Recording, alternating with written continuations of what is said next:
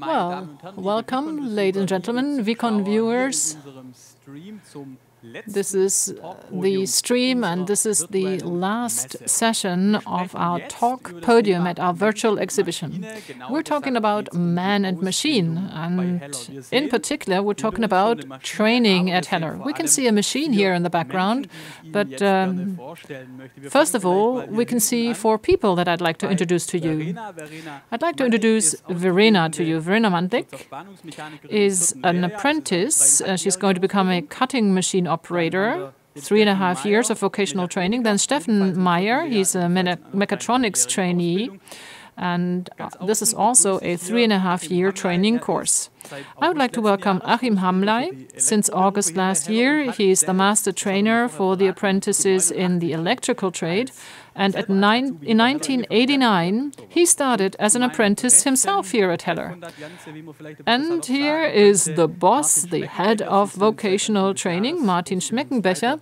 And he's joined, um, he joined Heller at the beginning of the year. So it's great that all of you are here. And it's great that we can talk about training, vocational training at Heller.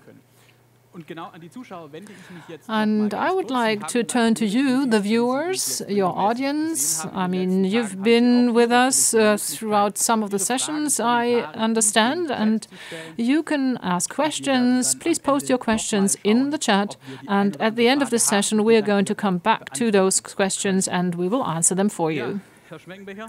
Now, Mr. Schmeckenbecher, I just introduced you. You are the head of vocational training. Since the beginning of this year, you've been with Heller, so you're kind of the youngest Heller uh, employee here um, at the session. So now, how did you experience Heller? What are you fascinated by at Heller? What are you fascinated by now uh, at for training at Heller? Yes, I'm the youngest employee, as it were, here at Heller. Now, the training here at Heller is very precise. Now, in training, we work on the individual. So the apprentice is at the center of attention. So it's all very individualized. And people also focus very much on team building within the company on the one hand. So it's the human being, it's the individual. But on the other hand, people also work very intensely on the product, the machine tool. And every day we learn that we manufacture these machine tools. So the apprentices take part in this value added chain right from the beginning through to the entire apprenticeship period. So, on the one hand, it's the individual and it's the machine. Now, speaking about machine, uh, let's talk to Verena and Steffen. So, what is this? This is a machine, but Verena, what kind of machine is this? Well, it's the Profi Trainer, a five axis machine. So, this is a machine that we, as the apprentices, manufacture and we get trained on this machine. So it's kind of a miniature milling machine, right? And Steffen, I can see that it's got a proper control system. So this is a machine tool en miniature. Is that correct? Yes, absolutely. It's like the big machine. It's got the Heller control system, so everybody can operate it. So every operator operating a large machine can also operate this small PT. Now, what are your roles as cutting machine operator and mechatronics trainee? So you, as a cutting machine operator, Verena, how do you contribute to this Profi Trainer? Now, we manufacture all the individual parts. As you can see, the column, the B-axis carrier, the round rotary table, uh, the cover. So we produce all these parts.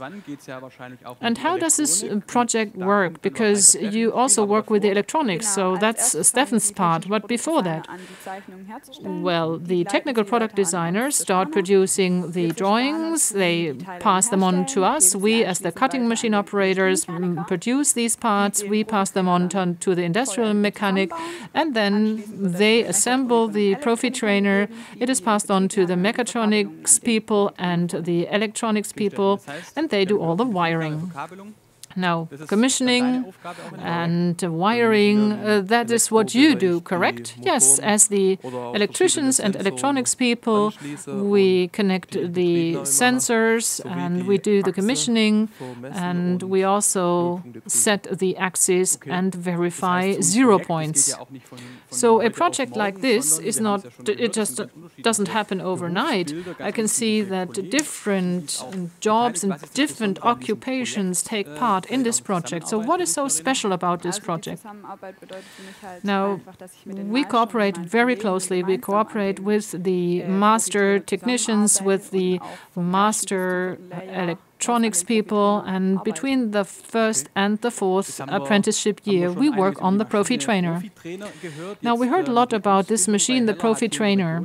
Now, training at Heller enjoys a very good reputation in the region here. And before I talk about this to Mr. Schmeckenbecher, I would like to ask you, how come you applied uh, for an apprenticeship at Heller, Verena? Well, a friend of mine, she's a technical product designer designer, and she told me that training is really fun at Heller. She enjoyed it very much, and then I went um, to the applic applicant's day and I left my resume here. Yes, a friend of mine recommended me, you know, he said to me, just uh, take a look. And then I became an intern and I also left my resume here and it worked. Now, finally, we were talking about your application, uh, but you've been with Heller for a few years already. Now, was it, was it the right decision? Um, what do you like about your work here at Heller? Yes, it was the right decision. I'm just fascinated by the fact that I can learn something new every day and it's different things that I learn, and I work with uh, wonderful colleagues and wonderful master trainers, and many of them have become my friends. Yes, it was the right decision to join Heller, and the cooperation with the colleagues and with the master trainers is absolutely great. And I also like the content, I like what we learn, and I like the work with the Profi trainer. Now, I, I said at the beginning that you have have almost already completed your apprenticeship, and uh, some of you are taking their exams right now. So I wish you all the best for your exams. Thanks, Verena. Thanks, thanks Steffen. And um, I will come back to Mr. Schmeckenbecher. Mr. Schmeckenbecher, we heard a lot about the integration of the Profi trainer into the apprenticeship concept and the training concept. But um, Verena and Steffen said that it is also great that they can work in a team and that it is kind of a unique selling point uh, that uh, the cooperation with the master trainers is so good. So, what is the philosophy um, that you are guided by? What is important about the work with the Profi trainer? Well, you know, the Profi Trainer is a real prod product and it is closely related to the company. And it is the cooperation in the team, the cooperation between apprentices and the trainers. You know, there are positive things that happen. Maybe sometimes there are setbacks, but this is happen. This is what ha what's happening in everyday life. So um, we actually support the apprentices as a group group, but they also work with us. And then, of course, they're also supported by other professionals in the company. So, work scheduling and planning, the purchasing department. So, you can get support from there as well. And then, you know, everything is networked. The vocational training is closely related to what happens at Heller. We hear a lot about Industry 4.0, and Industry 4.0 is a reality here, just on one square meter. So it is a project that develops. And we have a three axis machine, a four axis machine, or a five axis machine. And we can teach skills, we can extend and expand skills. Mm, by, for example, integrating a measuring ähm, probe, a vibration switch, things like that, or visualization. And this becomes a project that evolves and it is not static, it is something that is dynamic. And I think that's very important for vocational training. Achim Hamler, you have been a trainer in the apprenticeship department, but you've been with the company for many years.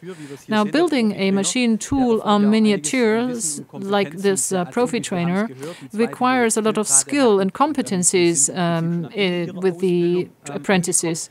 So the two of them here have already reached the end end, more or less the end of their apprenticeship. But uh, what kind of skill is required and what is the process like? Now, the process is as follows. Now, the uh, apprentices start uh, in the first year and they learn the basic skills such as uh, stripping cables or filing. So all these basics. In the second year, they move on and, um, you know, we can teach more complex things, such as uh, how the switch panels are built, how the cabinets are assembled. So it is still en miniature, if you like, so that apprentices can still master the challenge. Now, in the big machine, we have to say that uh, you've got a two square meter switch panel, but of course that is too much for an apprentice. So this is why we have this en miniature uh, machine tool. Now, in the third year, this is when uh, the apprentices learn how to do commissioning the same way as we do it. And then you go to your rotation uh, place. Um, this is apprenticeship rotation, so they move to other departments. Um, for example, when I was in, mainten in the maintenance department, the uh, apprentices came to me for a little while, and then I can say, you know, you know how the data backup works. Can you do the data backup for this machine? And, uh, you know. Now, maybe we have to explain what this means, the rotation. It means that the apprentices are placed in other departments, in the, in real departments, to work with real projects for a certain time. Yes, this is all about about uh, you know making sure that the um, apprentice gets to know other areas, and um, you know the, the, the, department might say, well, I like this apprentice. Maybe when they finished their apprenticeship, they can join our department. I mean, you can never know everything. You may build the switch panel, but you do not know how the wiring works, and so on. So if then the apprentices come to the actual department, they can learn all about that. Now, as the master trainer, how do you support the apprentices? Um, well, you know, I'm not the type of person who just says, you know, you have to do it this way or that way. I regard myself as a coach. When something doesn't work, I support them, but apart from that, the apprentices are supposed to kind of learn for themselves. Of course, I always make sure that it is in line with the VDE guidelines. This is something that we have to fulfill. But, you know, they have to do it themselves. This is how they learn. Not by giving them instructions all the time. So does this mean that the apprentices have a lot of scope um, for themselves, a freedom, and maybe also quite a high level of responsibility? So I think you need that in order to be able to build such a machine already during your apprenticeship. Let's say a few words about the reputation of vocational training here at Heller. I addressed this topic with the, the two apprentices already. Um, training enjoys quite a good reputation around here, not least because this Profi trainer is manufactured here by the apprentices. You have a lot of experience as a uh, head of training what do you think about it? Well, yes, you're absolutely right. It's great. I mean, which company can offer a product where the apprentice can say, I made this myself? And we think it's important that you know, that the product is developed as a product, but we should also take the product and uh, present my job or my company, for example, at a trade show or with customers. Now, we had a delivery of a profi trainer for a vocational college. So our apprentices, also Verena, were there. And they actually took up the role of trainers. They instructed the uh, people at the uh, vocational college in using the profi trainer. And she was able to say, you know, I manufactured it, I did the CNC training with this machine. So it is my knowledge that I can teach and transfer, transfer for other people. So this is real project work. And um, this is when the apprentices can take up responsibility. And this is also how they are competent, also social competence. We also need this in a company such as Heller the company is networked and the apprentices are also networked. Now, you said it, um, networking within the company. We talked about external reputation and image, but a project and the apprenticeship, the vocational training as such, is also interesting when it comes to internal marketing. So you uh, will have to be networked with all the other departments. You're not just an island here at Heller. Yes, absolutely. Um, this is uh, how, you know, it is all transparent throughout the company. The apprentice is known in the company, and they can actually build knowledge before they go to the other department on rotation. So in this department, they can take back knowledge of what they've learned there back to vocational training and teach their colleagues, the other apprentices. So that's great for the apprentice on the one hand, but it's also great for the company and um, the colleagues um, that our apprentices really get trained on the actual pro product. It's not that we are a service provider providing some kind of vocational training that nobody needs. We train our apprentices on our product. So we can be proud of that as well. Both the big machines and the square meter of Industry 4.0 that is represented by our profi trainer here. No, training at Heller is not only comprised of the profi trainer. You already mentioned the fact of taking up responsibility, of uh, also assuming social responsibility for other people. Now, there are some initiatives that enable that, so looking beyond your horizons, taking up the social responsibility. How is this integrated into the curriculum? Well, yes, there are some initiatives. Mm, they are, you know, kind of modules and components of the training.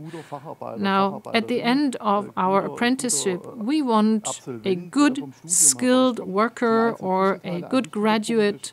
And uh, one module in our training is social responsibility. So it's not only Heller as a company, but our apprentices, uh, apprentices themselves. And we have an initiative where our apprentices come ähm, together and we bring them together with uh, people with disabilities. And it's about overcoming ähm, obstacles and inhibitions. Äh, we have a soccer äh, tournament with the sheltered workshops ähm, here uh, in Nürtingen. We also support the church. So socially deprived families get food um, at the church, and there's also a dance that we organize uh, of the apprentices and people with uh, disabilities in order to overcome these borders and overcome these obstacles. So, responsibility for each other, social responsibility, working across uh, borders. And um, our experience is that a first contact is a little tricky, but the second and the third contact is always mm, something that works smoothly. It's like with a machine, you just have to start it up and then it works. So our experience is positive. And in times of Corona, things are a little more difficult, but um, we're still on standby, as it were. We are doing projects with the sheltered workshops where we provide know how and support, for example, with fixtures. So we think it is very important to build this social competence as well. So it's actually inclusion, yeah practicing inclusion. And the um, cooperation with the sheltered workshops is sometimes is something that is continued. It's not only individual events, it's uh, something that happens all the time, right? Yes, that's correct. Well, thanks very much. Uh, let's take a look at the chat. I told you that you can put questions in the chat. So for the last time, really, unfortunately, unfortunately, this time I would like to ask Ines. And Ines, I think I can say that you yourself were an apprentice and you were actually the sponsor for the apprentices for a little while. So you are the best person to do this job at this session. So are there any questions in the chat? Unfortunately, no questions on the topic of training. Well, there's no question from the community. So um, I think we've been able to cover a lot of things already. But um, I have a final question for you, Mr. Schmeckenbecher. And actually, you already uh, mentioned it. At the end of um, you know these podiums or panel discussions, people like to talk about the future. Uh, you talked about Industry 4.0, Training 4.0 at Heller. Now, of course, training, vocational training, must not come to a standstill. So, what will vocational training look like in the future? And are there other things that can be carried over to other areas at Heller from apprenticeship training? Now, what are the prospects for training? Well, I think a training shouldn't be something, you know, that is a closed shop or something that is shut off. Um, the training department has to open up. Vocational training can move things in a company. Uh, many change processes are driven by the young people, the young people who are in training, who are um, studying at university. So, as the more senior people or as trainers and masters, we mustn't slow the young people down. We've got to um, recognize their capabilities, their skills, for example, in the digital age, how they use their mobile phones, their smartphones, for example. So we've got to allow them to do that we've got to allow them to use these new technolo technologies, and uh, sometimes there may be situations where they teach us. It's not that uh, the trainers only train the apprentices, sometimes we get trained by our apprentices. So, this is how change can move in a company. So, we can give them a certain scope of action, and we can simply trust them and we can place our trust in them. They can take up the responsibility, and that I think is the future of modern vocational training.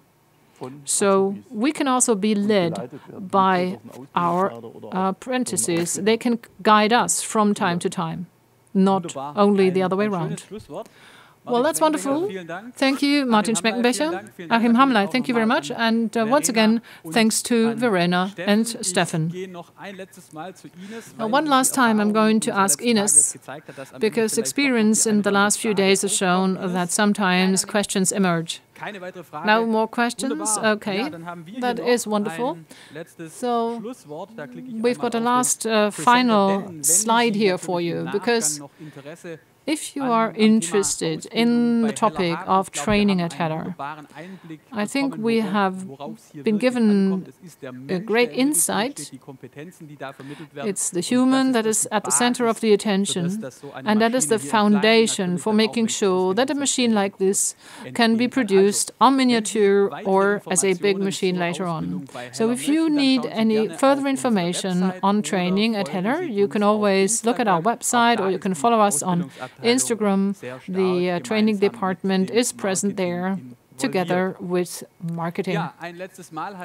Now, for the last time, I would like to thank all of you, the viewers, the participants. Thanks for posting questions. Thanks for making contributions to V-CON. I think it was a superb format. It was uh, very interesting, and we are going to continue with this format in the future. And even if this was the last session on the podium, the V-CON will remain open until 6 o'clock. You can move around on the virtual platform and chat with our colleagues, and you can get all the information that you need on products and services made by Heller. So, thanks very much. We would like to wish you a great afternoon and enjoy yourselves at V-CON.